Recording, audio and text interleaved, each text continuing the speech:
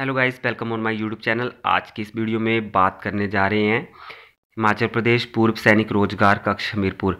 तो जो पूर्व सैनिक हैं एक्स सर्विस मैन है, उनके लिए एक नोटिफिकेशन है। तो यहाँ पे आप देख सकते हैं, उनके लिए जो पोस्टें हैं डिफरेंट डिपार्टमेंट्स में वो बताई हुई हैं।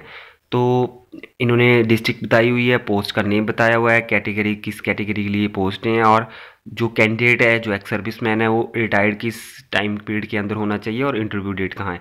तो पहले बात कर लेते हैं, चंबा में पुलिस कांस्टेबल की दो पोस्टें हैं और एससी कैटेगरी की हैं दोनों पोस्टें और रिटायरमेंट की डेट जो है वो 19 इकतीस, दस, उन्नीस टू इकतीस, दस, इक्कीस के बीच में रिटायर्ड होना चाहिए कैंडिडेट और एक जुलाई को इसकी काउंसलिंग होगी।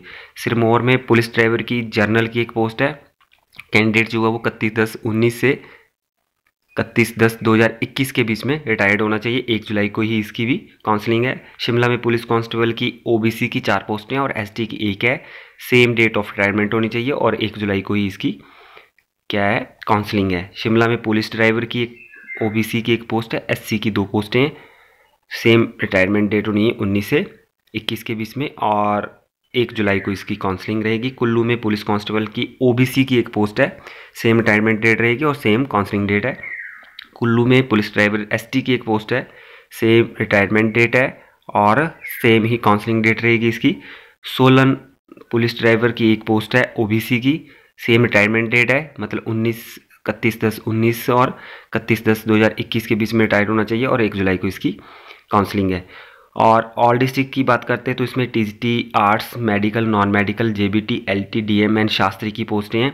General O B C S T सभी की मिला के एक सौ पैंतालीस पोस्टें हैं टोटल और इसमें डेट ऑफ़ रजिस्ट्रेशन जो है वो इकतीस मई 2022 से पहले आपका होना चाहिए एम्प्लॉयमेंट एक्सचेंज में, ठीक है? डेट ऑफ़ रजिस्ट्रेशन जो है एम्प्लॉयमेंट एक्सचेंज में, जहाँ जो भी इनका सॉरी ये होता है एक्स सर्विस मैन का जो काउंसलिंग सेल होता है, वहाँ पे इनकी रजिस्ट्रेशन इकतीस मई 2022 से पहले होनी चाहिए। मीन्स कि आपकी बीएड इकतीस मई 2022 से पहले की होनी चाहिए और इसकी काउंसलिंग जो है वो 2 जुलाई 2022 को रखी है इन्होंने। उसके बाद ऑल डिस्ट्रिक्ट में पीजीटी की, पोस्ट ग्रेजुएट टीचर्स की जो लेक्चर न्यू बन गए हैं, अभी ऑल सब्जेक्ट की, फार्मासिस्ट की, लैब असिस्टेंट की, नर्सिंग असिस्टेंट और फ़िज़िकल एजुकेशन टीचर की। इसमें 46 पोस्टें ऑल कैटेगरीज की और इनकी भी रजिस्ट्रेशन डेट जो है वो इकतीस मई 2022 से पहले की होनी चाहिए और इनकी काउंसलिंग जो है वो चार जुलाई 2022 को रखी गई है।